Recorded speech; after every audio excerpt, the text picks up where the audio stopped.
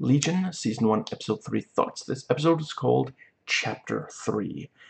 Another episode I love, spoilers for everything X-Men leading up to and including this episode. Let's dive right in. And yeah, we see that at Summerland they have the ah, what's the word? Um, the the showers are not separated by gender which, yeah, neat little world building detail. And yeah, we hear the the story, the the woodcutter, which yeah, that is that is an actual. I've heard that before. That that yeah, that is an actual fairy tale. And yeah, we see that the the little. I still don't remember what those are called. Um, I'm gonna go with worms you know now they're being like put in in Amy's skin to to get answers out of her just yeesh. and yeah as soon as the the um as soon as Melanie has heard the entire woodcutter story you know she she yeah pours the the coffee bag in and you know asks to to hear the the story again.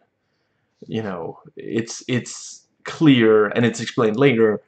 You know, she just she likes listening to. Yeah, it's it's not really the. Um,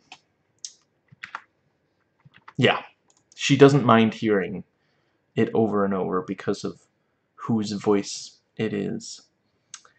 And let's see. Yeah and they, they talk about you know because they just don't have time because Amy has been captured they can't go you know piece by piece.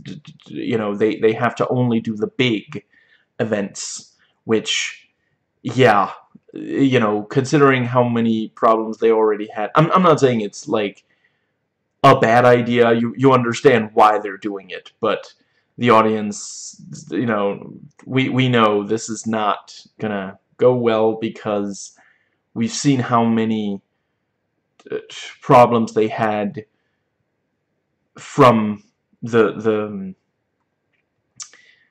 you know even going piece by piece. You know they they were trying to go slow uh, before in in episode 2 and they were still really struggling and yeah, I, I like the thing about you know the um, you you control amazing powers. Control might not be the right word for still really great snark. And yeah, they they go into the they're they're inside the the memories, getting real Psychonauts vibes, loving it. And see the um, yeah we see you know yeah David and and Lenny were you know smoking weed and the is that too vague of a reference? They were doing drugs. And and Phyllis comes in and you know she points out there are people coming over. You can't be you know this is not okay and yeah, Lenny just always maybe hypothetically, theoretically at some point she will say something on this show that isn't just absolutely amazing. It hasn't happened so far. I, I, if it ever happens, I'll let you know. And, and yeah, you know, she, yeah, Phyllis brought cake because there are people coming over, you know, it's that's what it's for. And Lenny just like shoves her, you know, grabs it, shoves her fingers and starts licking, you know, because she's, you know, she's high. She's she's got the munchies or something, you know, she's not thinking about what's proper and just yeah, really yeah, very very effective because you can see how yeah, that's obviously that that caused a, a fight between David and and Phyllis Philly. And uh, yeah the yellow-eyed demon makes another appearance. And then yeah it takes them a second to be like oh oh no this is the the real world. And it's like so David teleported three people what, what did they say 600 meters or something through walls you know uh, again this is like this is a very intense level of power. This is not just yeah even even for mutants this is very intense. And we get some more great snarky lines and some more great like just what's the word? Um just you know, great relationship moments between Syd and, and David. So, um, Mother? Yeah, I have one of those. And, let's see. Yeah, and, and, yeah, he mentions he still remembers her long hair from when he was her. And he sometimes feels like he wants to brush it out of his face and and stuff like that. And then they talk about you know well I mean I was you for two hours. I didn't look any more than I needed to. And Syd you know, I I knew the moment she said it, oh, she's she's screwing with him. There's no way. That is BS of the highest order. But yeah, she claims that yeah, that's she claims that she had a similar experience, but she went significantly further. And David actually believes her at first, which is kind of adorable. And yeah, and and she mentions, you know, it does. I I don't think of it as my body, you know. And she talks about all the different people she swapped bodies with, and says, you know, I'm still me. It's still my soul. Which I that it, it's again one of these great little because that's that's probably how you have to think about it if you lived in a world of mutants and you were yeah, swapping bodies with people just from physical contact, yeah, like it's either gonna just you're you're not gonna be okay at all, or you think something like that, you know. But it is also, yeah, you know, no one should have to, you know, say my body isn't really my body. And yeah, so they're gonna they're gonna do more tests on him. And you know David is is like un uncomfortable. And and then Kerry with a K offers to knock him out.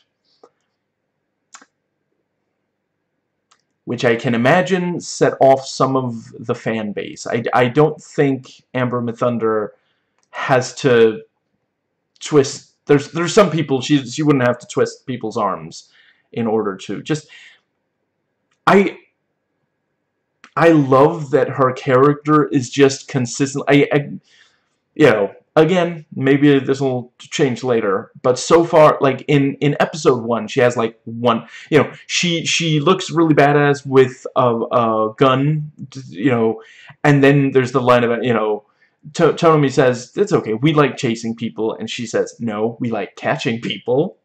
And she gets some, some, I I honestly don't remember everything about the action scene at the, in the climax of, of episode 1, but I believe she got some pretty cool action there.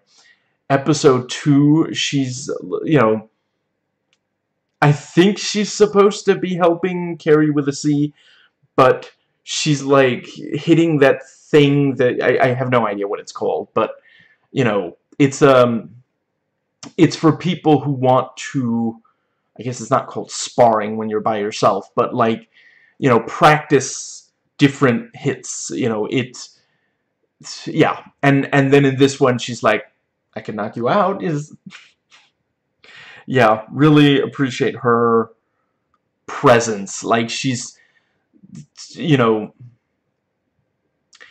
her her attitude makes up for her relatively small frame. And which I believe is the the point. and then we have the the great line could you maybe not break everything this time? I'm not gonna promise that. And let's see yeah and and they tell me you know think about something stressful and we see Halloween and we you know they they show some of the bedtime story again. And David actually saw although I guess it's maybe a hallucination or or what's the word? Maybe he changed a memory to to, repre repressed memory something like that you know. But yeah he seemingly saw the angriest boy in the world. And yeah, no wonder that really terrified him. And Lenny,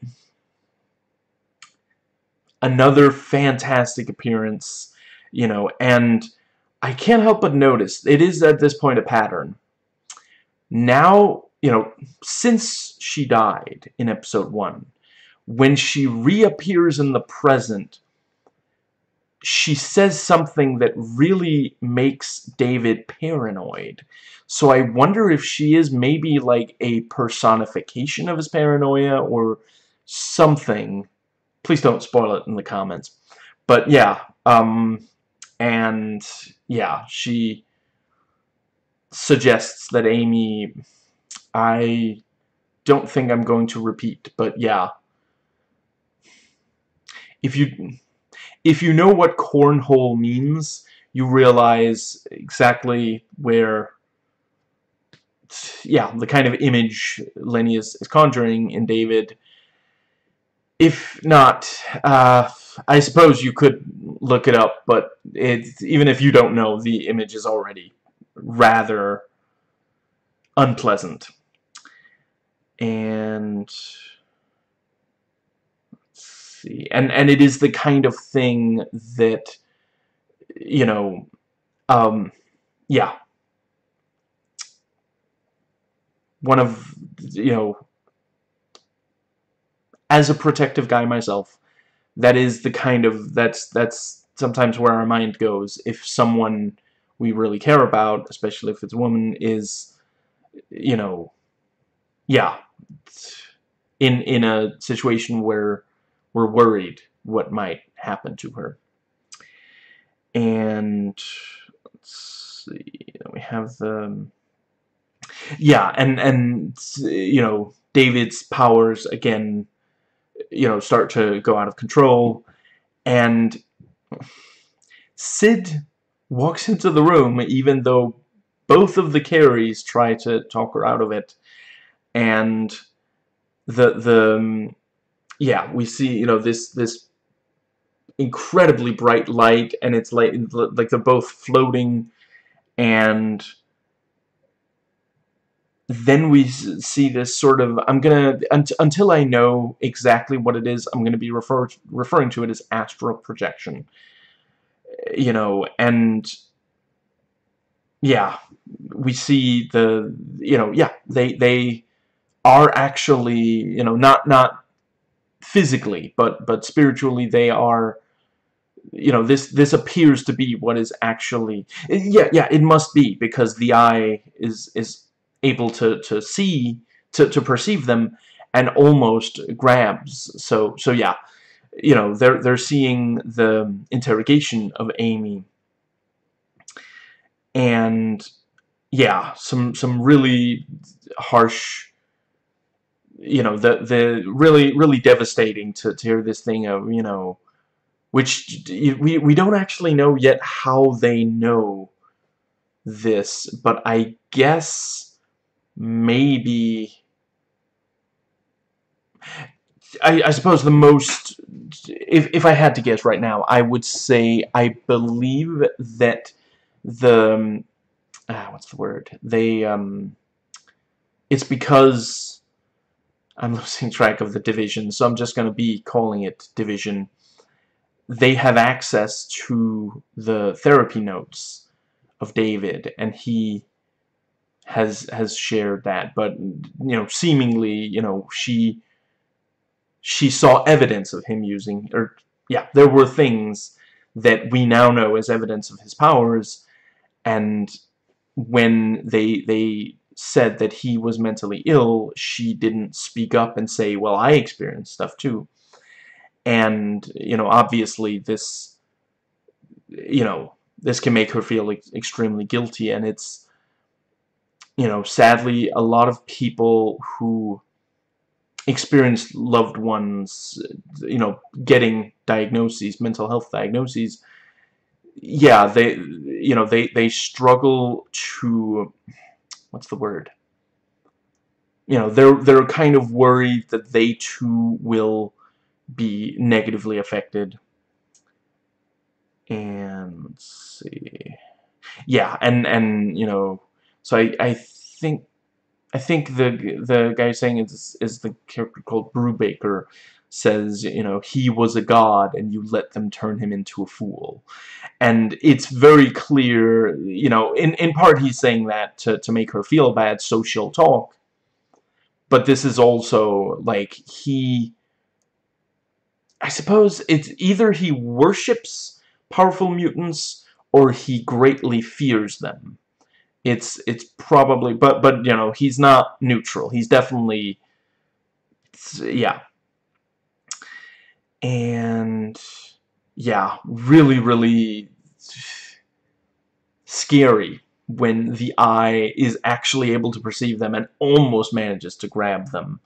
And we are told afterwards, you know, you can never go back there because you surprise them this time, next time they'll be waiting for you, and either they'll kill you there, or they'll follow you back and kill all of us. And yeah, when they when when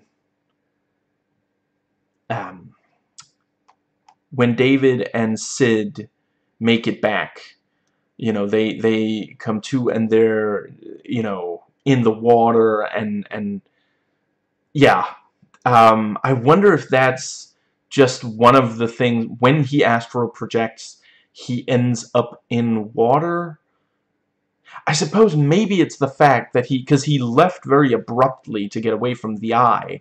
Maybe it's a bit like, you know, if you're running really fast and and you're not 100% awake or you're, I don't know, a little drunk or something, you're maybe going to trip over. Maybe it's that. He, you know, he was trying to, to get all the way back to Summer, or, or, yeah, back inside of Summerland and and accidentally tripped and fell into the water. Some that that sort of thing, you know, metaphorically speaking. And yeah, we we learn about that's Oliver's voice. If you've ordered coffee or taken the elevator, you've heard his voice. Great story. And and yeah, Melanie straight out comes out and say, you know, says, I don't know if if I'm able to help you, I'm worried that I'm making you worse. And that's, again, that's something that is also in reality, like, when it comes to mental health, you know, not everything done to try to help the patient is actually making things better. And, see, yeah, and she brings up sedation and does assure him. I, I'm not saying like unconscious, unconscious. I'm saying you know just like enough that it's not so dangerous. And yeah, you know, famous last words. That's that's where it goes wrong. The fact that he was, because because that's the thing. Like they've gone into his memory several times by this point did, did that make it sound like I'm bored? I'm, I'm not. I'm just saying, you know, so far, each time he's been able to wake up. You know, but he also used his powers, and he's struggling to control his powers, and it is actually dangerous for them, you know. But this time, he doesn't wake up because he because of the sedation, you know. That's the only thing that was completely different from the other time. So, yeah, that's that's not great. And, you know, I, I appreciate the little moment where, you know, there's there's the bit where, like, yeah, Syd manages to wake herself up, but Ptonomy was not able to, you know, he's he's woken up by by Syd, even and and he was also not able to get them back out of there. You know, suddenly his powers are not working to, you know, that was also really effective bit of, of yeah, very, very, quite scary. And, yeah, several people say no to, to Syd wanting to, to go into the, you know, once he's sedated and they're, let's see, and, and she seems to have a nightmare about the the yellow-eyed I'm always getting the name wrong the devil with the yellow eyes that's it. And yeah you know he's also awake and he explains you know if you go with you're gonna see things you're not gonna feel the same way about me and you know she says do you love me? Well then it's you know then it's settled then it's easy Nothing else matters, I think is, is the hmm. exact. I, I really appreciate This is... I don't know that many shows that this beautifully manages to straddle the balance because sometimes I don't know that I would ever I, I don't think there's been anything so far that is outright cheesy but there's definitely been moments that in in lesser hands than than these writers and directors could have ended up that way but it also manages snark. You know, there's I I don't know that many pieces of media that this does this well at managing. You know, usually one of them overwhelms the other. And love the window transition. Just you know, they're they're like, okay, let's let's begin, and the cam and and we see before the camera even goes through the window, we see you know, yeah, on the on the yeah through the window so just very nicely done because a cut would imply that time passes. If something happens, we know it's not literally happening right outside the window, but that implies, no, it was like, it was immediate. You know, like, for some reason I can't snap my fingers properly, so I try not to do it on camera because it's embarrassing that I can't snap my fingers properly. But yeah, brilliant way to, to get across. No, they're just immediately in there.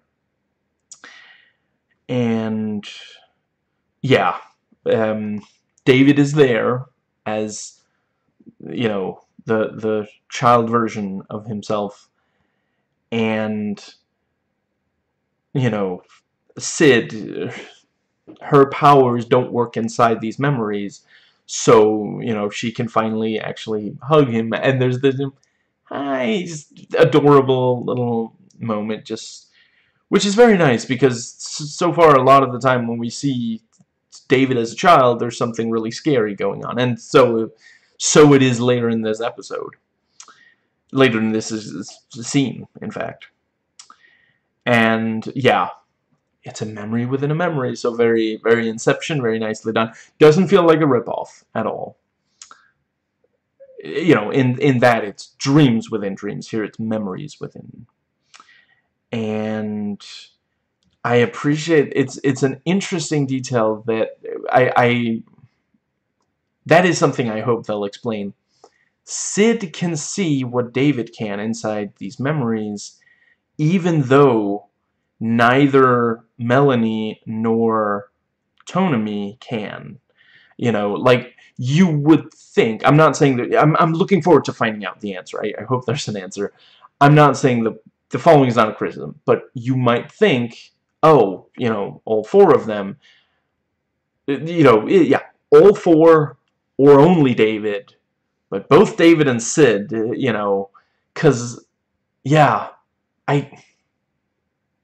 Is it possible that a little part of him is still inside, like like mentally, because they did technically before they swapped bodies, they swapped brains, or is it the other way around? Some something like that, you know. So yeah, there there was some of yeah yeah. First they swap bodies, later they swap brains. You know, later the the yeah, and um, let's see. Yeah, love the long take, like, incredibly nicely done. I The long takes are some of the best parts of, of the show so far, of these first three episodes. Just, yeah, um, you know, and, and this thing of moving between these memories that obviously weren't quite as connected as they appear as they're, you know, running through them like this. And I like the detail that, you know, I, yeah, so one of the memories, Syd walks in on David having sex, and, you know, there's like a second where she's like, oh, wasn't supposed to see that, you know, but she does, like, she can't help but look a little which, on the one hand, technically speaking, David and Syd are dating, so it's essentially a visual version of the sexual history conversation, and also it I don't seemingly Syd has never had sex with another person because she can't directly physically touch. And she said you know and and you know before you say oh you know what about a full body condom? She did say you know even just being close even if they're not directly touching it's unpleasant for her. So yeah, she might be a little curious, and I mean, I'm not judging, but I can imagine this might be the first time that people have had sex in front of her and not offered her, you know, a spot. And yeah, um, young David is is by the bed. yeah, that's there's an image. And yeah, the angriest boy appears and and you know Syd says, "Want to play? You know, maybe you should play hide and seek. Do you have a favorite place to hide?" You know, very clever and yeah, manages to to climb in the little thing, and and you know, yeah, behind them comes the I forget if it's still the Angriest Boy or if it becomes the devil with the yellow eyes. But yeah, um, very effective, very, very scary. And finally, you know, she does, Syd does manage to, to wake up. But the others are, are still asleep. And I, I appreciate her having to wake them up without touching them directly, even, even not touching the skin directly so she's like, you know, hit, hitting the, the bed or, or couch that they're on, and you know, she picks up a, a pillow and hits that next to just, yeah. And yeah, um, Melanie still inside, you know, hears this this whimpering noise and, you know, opens the book, goes through the parts that we've already seen, then she reaches this part where apparently the angriest boy in the world burnt down the town after chopping his mother's head off. So yeah, um, and and you know, not long after she says, or, or I forget if it's her or maybe it's it. Someone says, "I'm I don't think these are memories," which really, really hope that that book is is not an um, an actual memory, but just like you know, a nightmare vision of uh, a bedtime story that's a bit too intense. Because like we're in Babadook territory with that. Like, my God and you know the the thing crushes the, the book crushes her hand and she pulls it out it's all mangled and when she comes to it actually takes his hand Ptonomy says no no no look look your your hand is fine it was it's, it was just a memory And then, yeah, then we get the line, I don't think those are memories.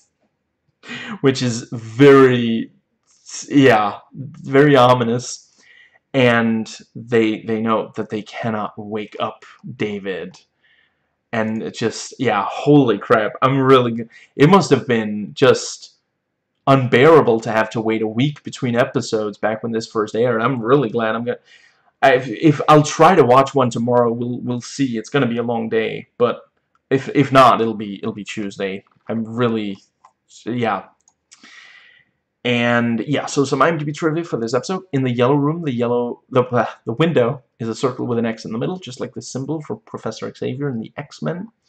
In the sedated memory work sequence, we see David stealing his session tapes out of the drawer in their just office. One of the names on the tapes of, in the drawer is Mr. Plaza, reference to Aubrey Plaza, who plays Lenny.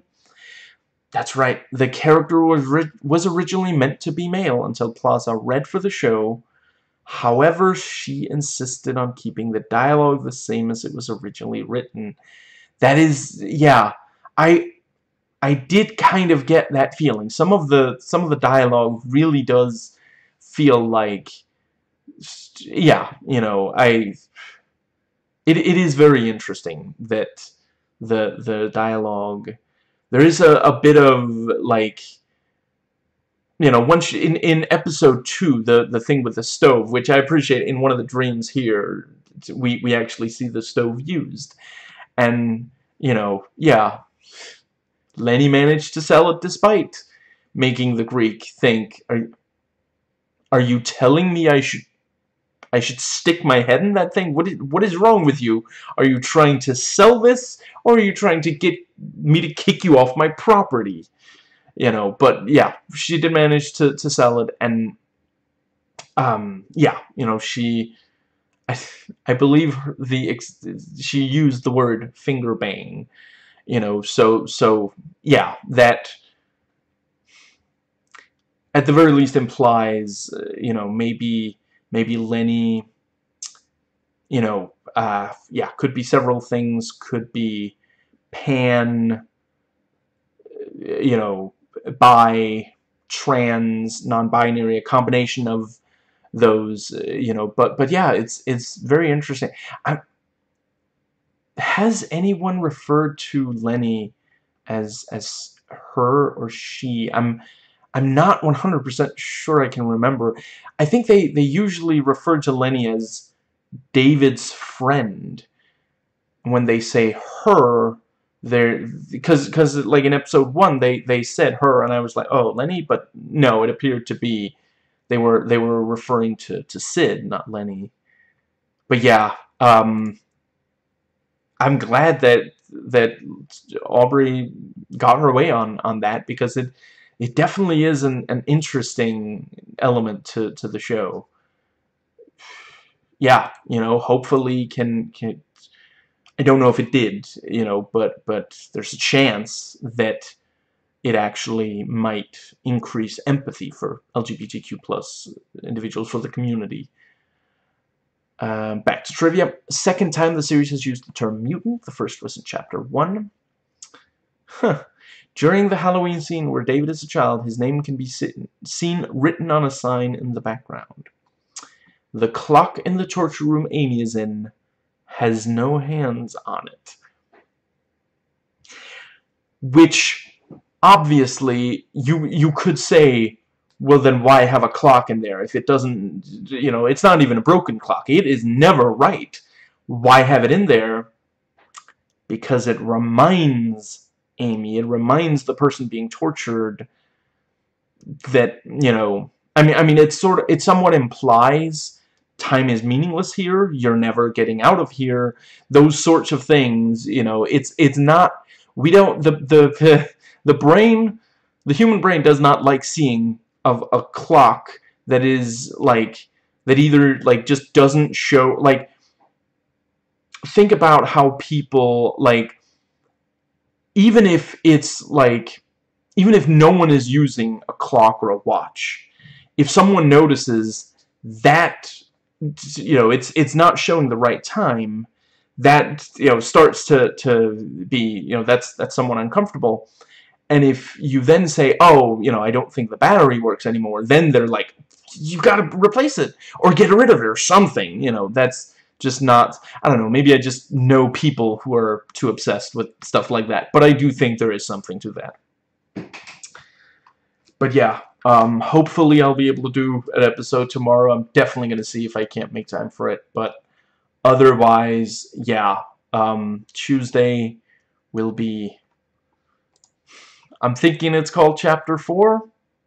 It is called Chapter 4. It seems like the the you know the massive fountain of of creativity that the show was was drawn from the creativity ran out just as they were getting to, to episode titles. I'm kidding. I don't think it's like a problem or anything. And yeah, until we meet again, unhand the reptile, Space Captain.